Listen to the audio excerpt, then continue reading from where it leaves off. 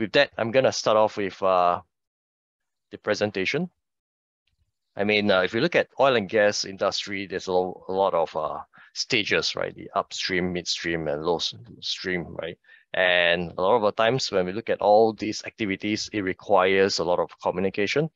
Um, the upstream, downstream, right, the midstream, it all combines of the uh, exploration, the uh, transportation of the oil, and then to a refinery where they kind of uh, do a lot of uh, processing, right? That's where main activities are done. And then, of course, once it's done, we store it, and then we kind of ship it out to the uh, various uh, location. Now, across all these stages, we know of a lot of customers within the uh, region, in the Asia region, that kind of uses our radios for their communications. Uh, we do have a lot of activities within countries like Indonesia, right, where they have a lot of refinery, and they've been using our CAPMAX systems for the last uh, five years. Yeah, and typically, if we look at the equipments that uh, the workers kind of uh, wear, right, a lot of safety gear, uh, starting with the helmets, the eyewear, the, the glasses, um, the vest, the fire retard um, uniform, the safety shoes, and a communication system, right, a radio. And that's part of their day-to-day -day, uh, equipment that they have to bring in. So now, when we talk about all this equipment um, that they bring in, not only the radios, but inclusive of their flashlights, right, their sensors and all that, it has to kind of conform to the safety re requirements as well, the safety regulations. Now, each of these location would have their own certification of safety level. Now, that's where we kind of come into the big question, right? What is explosion proof, intrinsically safe, has a we hear these terms a lot, right? When we talk about um, equipments within the oil and gas industry or sometimes in the chemical industry. Yeah, eh, we, we hear these terms a lot, but how much do we know? And how do we kind of start to go into this area of understanding, right? So that's the whole intention of this morning, uh, this afternoon, yeah?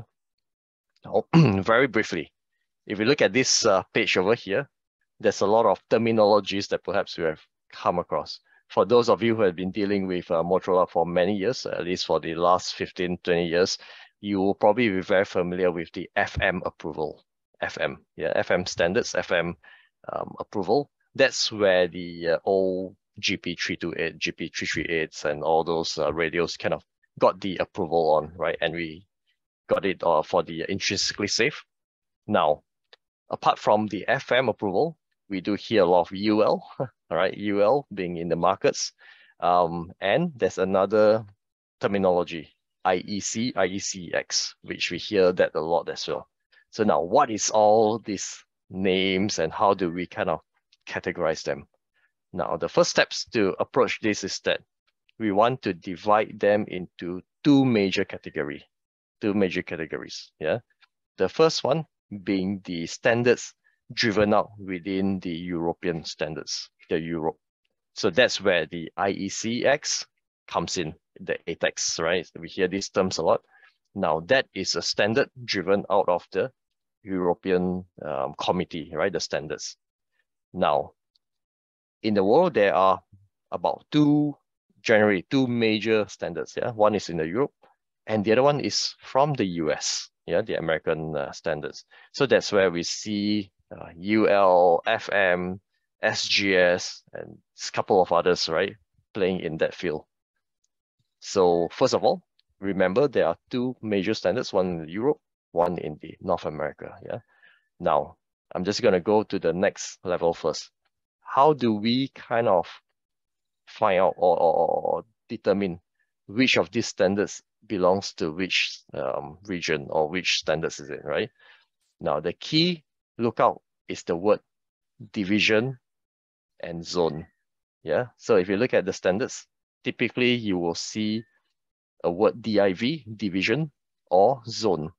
Now, this is the first tail sign, right? The first uh, indication for us to kind of have that level of uh, uh, understanding, yeah?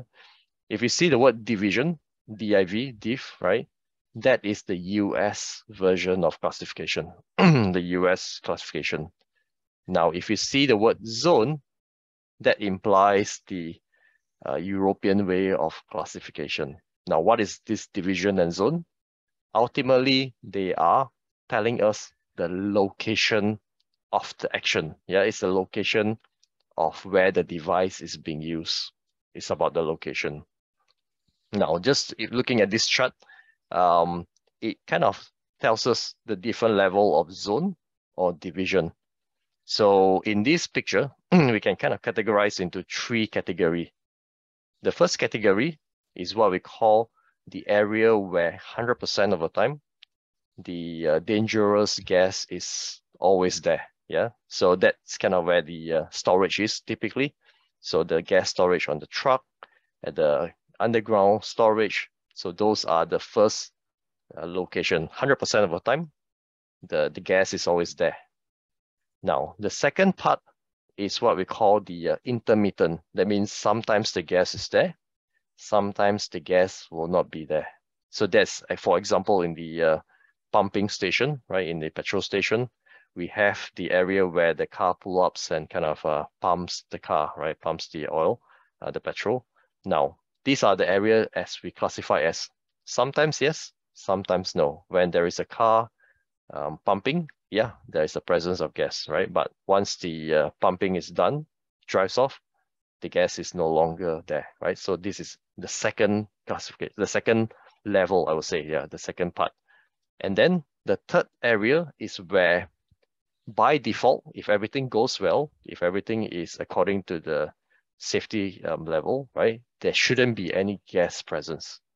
That's where we call it like the surrounding area, yeah? Now, in these three category, 100%, sometimes, um, by uh, and the other one is uh, outskirt where we don't have the gas. We call them different zone level or division level.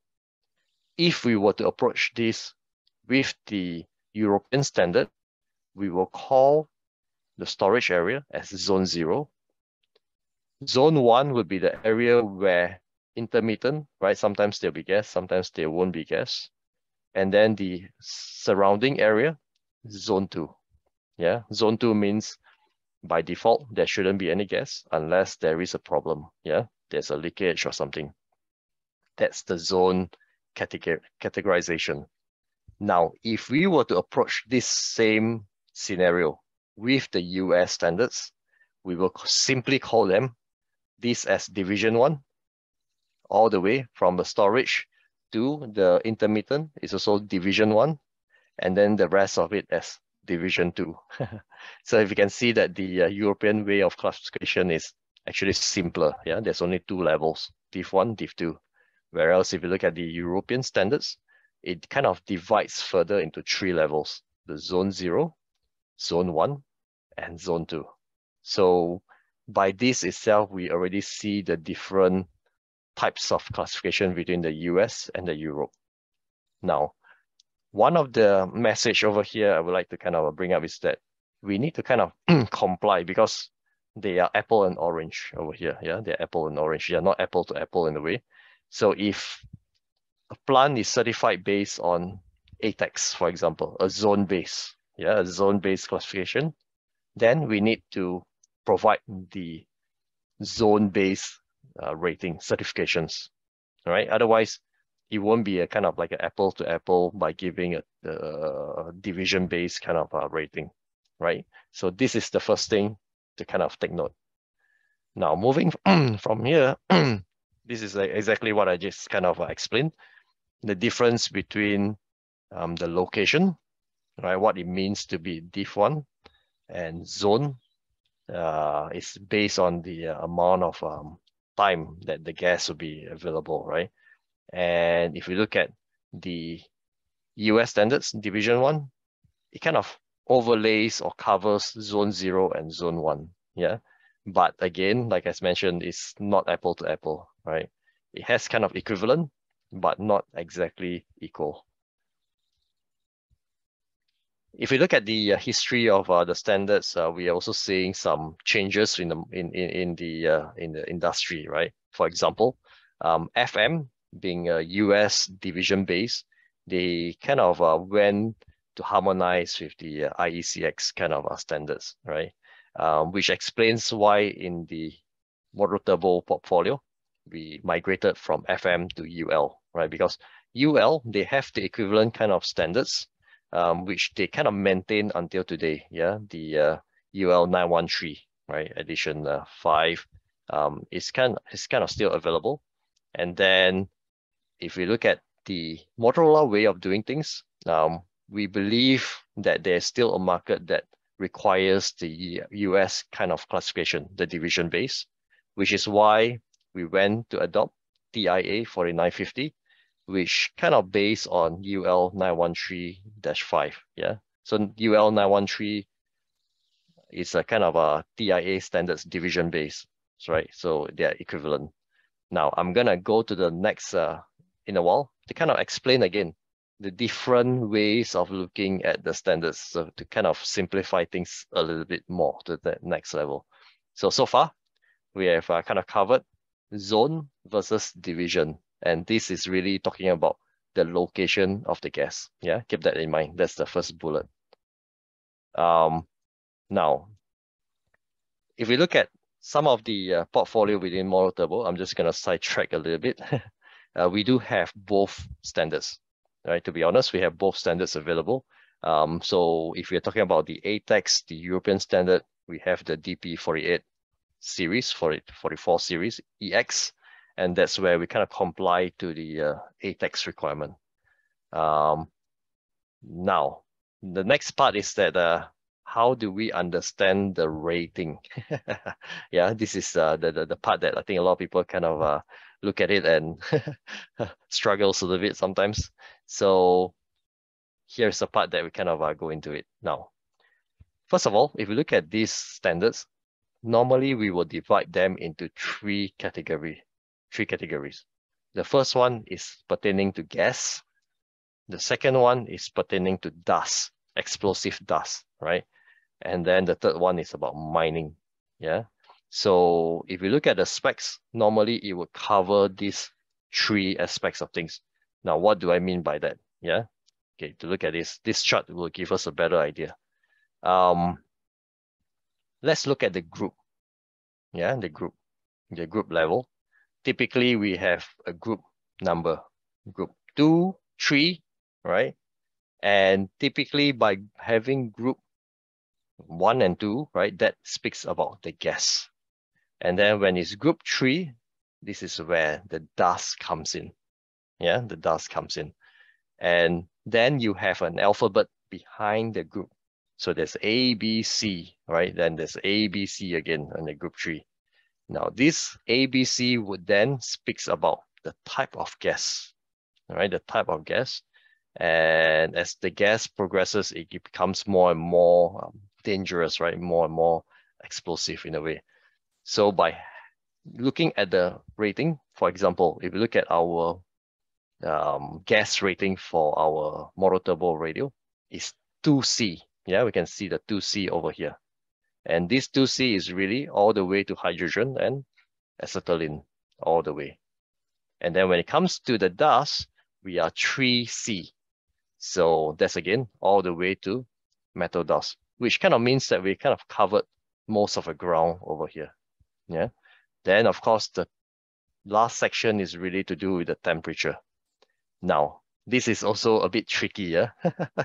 um, on the first glance, typically when we look at numbers and specs, higher is always better, right? But in this case, it's the other way around.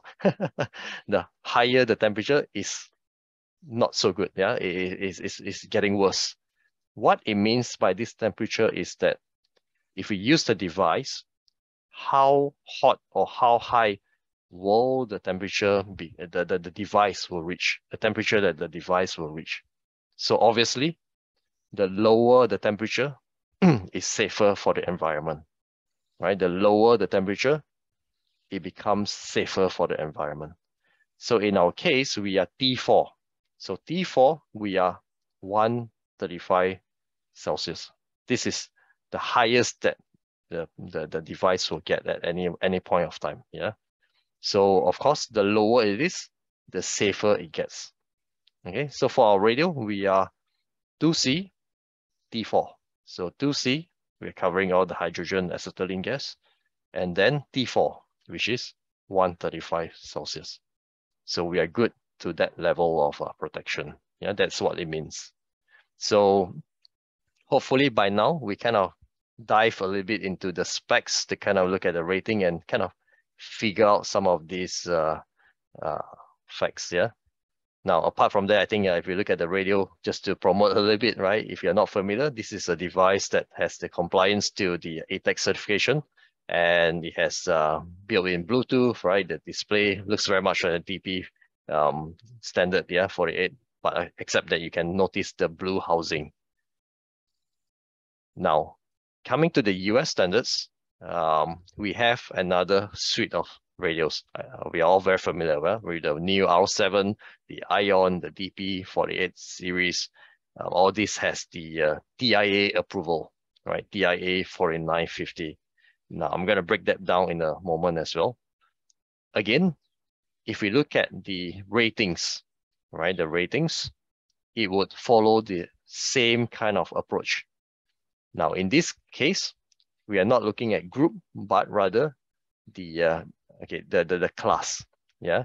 So class speaks about again the gas, and then class two would be the the dust, and then class three is again uh, some of the uh, dust as well. Yeah, particles and all that. Typically, it's uh, the, uh it's not so key for this. Yeah.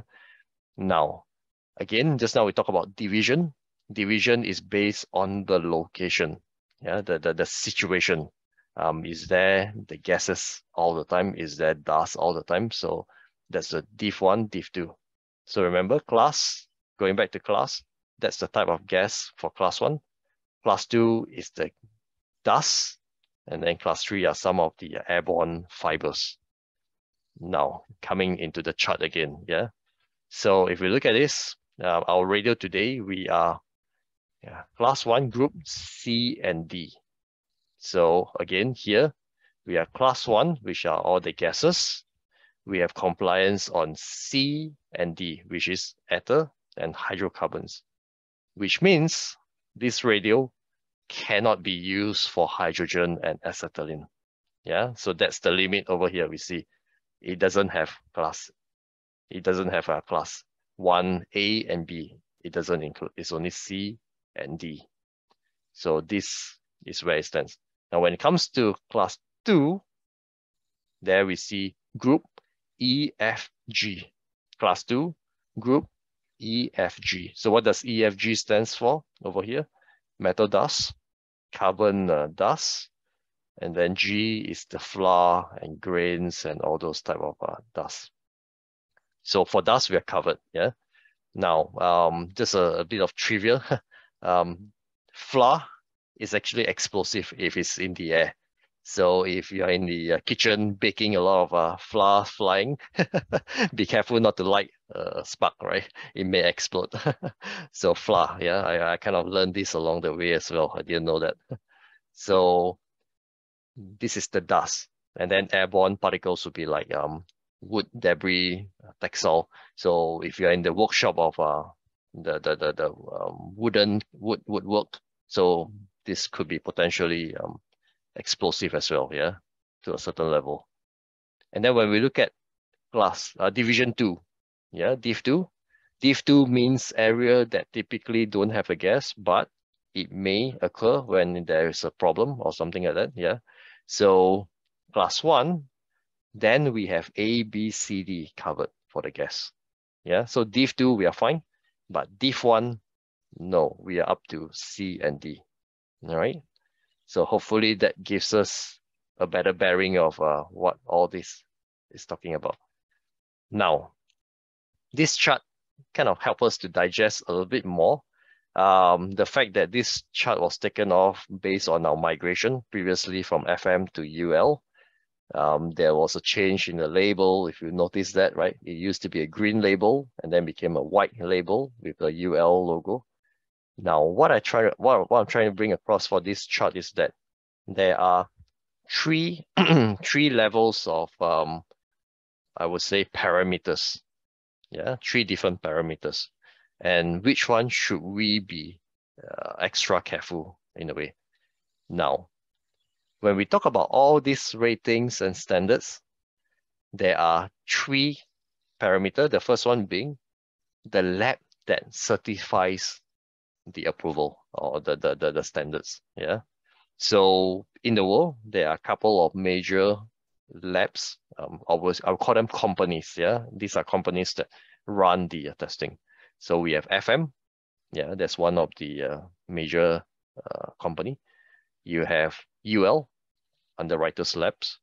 And then, of course, there are SGS and all that in the market. Yeah, SGS, perhaps you guys have uh, heard of it from a Vertex portfolio previously, right? And these are all the labs. They are just a house, a testing house. That's it, right? Now, the next one is we are talking about the standards. What standards are we complying to, right? Because standards are the one that kind of capture the test method, right? What is the uh, failure rate? What is the safety design? It goes to the level of rules, right? So we are talking about all the rules of uh, how it, it what it takes to get there. So that is the standard. Now, again, in the world, there are a bunch of standards. We used to have FM 3610 88. 88 is for the year 88, right? Um, this kind of went off. It went to IECEx kind of level. And then there is TIA 4950, right? TIA is again um, the, the, the committee in the US. Uh, they, they kind of came off with the uh, P25 standards as well, if you just a trivia, yeah. So P25 standards is also under TIA. So TIA 4950 is meant for the HAZLOC, hazardous and uh, location, right? And then, of course, we do have UL 913 as well. So when we hear UL 913, that is another standards. And of course, this standards has its own addition, yeah, edition five, six, seven, and whatever, right? Because the edition kind of changes a little bit about the specs as it goes. So we need to be careful of the addition as well. Now, the most important part of all is really the rating itself. So the rating itself.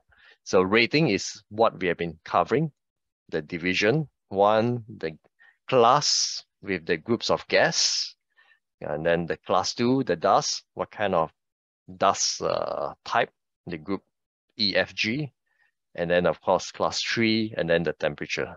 Yeah. So rating is the part that is universal across all. Rating is the one that kind of ties in all the different test house, the different standards, as long as it all complies to the rating. So if uh, someone needs a division one, class one, group CD, we can always offer them either TIA radio or FM radio as long as it complies to the rating, right? So this is something that we will have to take note of uh, because end of the day, different manufacturers may go for different test house. It can be SGS, it can be UL. They may comply to different standards per se, TIA 4950 or UL 913. It's fine, yeah? As long as the rating is based on what the customer requirement is, right? As long as it meets the customer's rating requirement. Now, what, how, what, what's the rules of engagement, right? So typically when we sell um, HAZLOC radios, we do not recommend, right? We, we do not recommend to the customers to say, hey, you must use this radio or use this radio but rather the approach is that we have a radio that has this rating, Mr. Customer. Is this something that you can accept? Is this something that is safe for your usage? So that should be the approach. Because end of the day, in every customer, um, I would say the, the operations, there will be a safety officer. And that's that person, the safety officer, would be the person to kind of uh, dictate what level of safety is required for the plant. Yeah, what, what, what what's the requirement? What's the rating that is required? So again, they have to tell us if this uh, level of uh, safety, is it enough for them? Yeah, is it sufficient for them? So that's how the approach is. Yeah. Of course, then if we look at the uh, past FM and the current TIA 4950, they hold the same classification which kind of explains why Um, the customers in the past using GP328 FM, they can continue to buy the DP4800E TIA approved radios. Yeah, it's the similar thing. Now, speaking about all these things, right? It wouldn't be complete by not uh, kind of uh, introducing some of our feature sets as well, some of our uh, MOTOTRBO advancement in terms of features to kind of enhance performance and safety as well, right? So if you look at the these slides over here, these are some of the features that we offer, uh, which is kind of a uh, common, right? We talk about noise cancellation, we talk about intelligent audio, we talk about um, the feedback suppressors. I mean, we, we can kind of say that all, all these radios complies to the standard, but if the audio performance is not good, it kind of defeats the whole purpose, right? Because then we won't be able to get the uh, right message across. That itself could create hazard in the workplace, right? Uh, of course, there are more features. Uh, we're talking about uh, text to speech, right? Just to make sure that the text gets to the uh, people with the message, with the uh, content that they can always refer to, they can remember. Um, we can have a tracking functionality, indoors, outdoors tracking to kind of enhance the safety, yeah, to make sure that we account for all the uh, workers. Now, of course, we do have dedicated suites of uh, features that is meant for safety, digital emergency, the search tone, when you hit the emergency, you have a tone coming out from the radio so that if anybody needs to rescue the person, they can always hear for the tone and go forward based on the sound. Um, man down, uh, we all know very well that uh, for people who are working alone, this is critical. If they gets uh, knocked down, the radio will detect and kind of uh, sense the uh, emergency. Same goes with lone worker, where it detects the uh, activity level of the user. Um, a little bit about the um, the, the system, again, we have all the different suites for our oil and gas customers, depending on the needs. A lot of our in Indonesia, let's say if a share from Indonesia, um, they kind of use different types of system for their different operations. For example, for all the refineries, they would go for a CapMax. Yeah, typically one refinery they have about a thousand to two thousand users within a plant.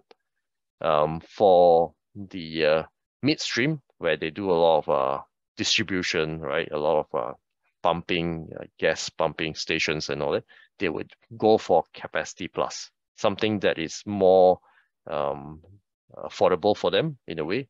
Uh, they just need to communicate between the uh, different stations. So that's the capacity plus. So as we reach to this point, we are almost uh, coming to the end of the presentation. Just a quick summary. If we look at the portfolio, again, remember the two major classification, uh, the European standards versus the US standards. European standards will use the term as zone. The US standards will use the term as division. So over here, we are looking at the division base, um, div1 and the class. And then we have all the different uh, classification. So with the charts, it kind of helps us to navigate a little bit better to kind of understand which are the gas groups that is compliant. And then, of course, as I mentioned, it is tested to the TIA 4950. So what is TIA 4950 again? It is the standard. and of course, this standard is owned by TIA, which is a uh, committee within the US, tested in the UL laboratories, which is explained why our label has the UL logo. Our certification has the UL logo. It's a test house. right? So, but most important is the rating itself. Yeah, this is the critical part which we always need to communicate with our end users. And then, of course, not forgetting ATEX being one of the uh, uh, important one as well. Again, we have the rating for the gas, the dust, the mining, and um, it has the certification from the ATEX, right? So ATEX again is a is a is a test house that given us the approval. The last part, um, don't forget, we have all our accessories. Now, this is also important because accessory carries the same level of importance in the certification. So if we were to use FM or UL TIA 4950 radio, but if let's say the RSM is not approved, it defeats the whole purpose. Yeah, it becomes the uh, the failing point. It is is the non-compliance on the uh, accessory. So when we pick an accessory, we want to make sure that it matches the rating on the radio as well. And a, a question that people always ask as well, can I mix ATEX accessory with a TIA radio? The answer is no. yeah, the answer is no because they are certified differently and they would they would not be compliant if we kind of um, mix them. Yeah, so it's very important when we look at the uh, brochure, the accessory brochure, we need to look at the right uh, ratings based on the radios that we are using.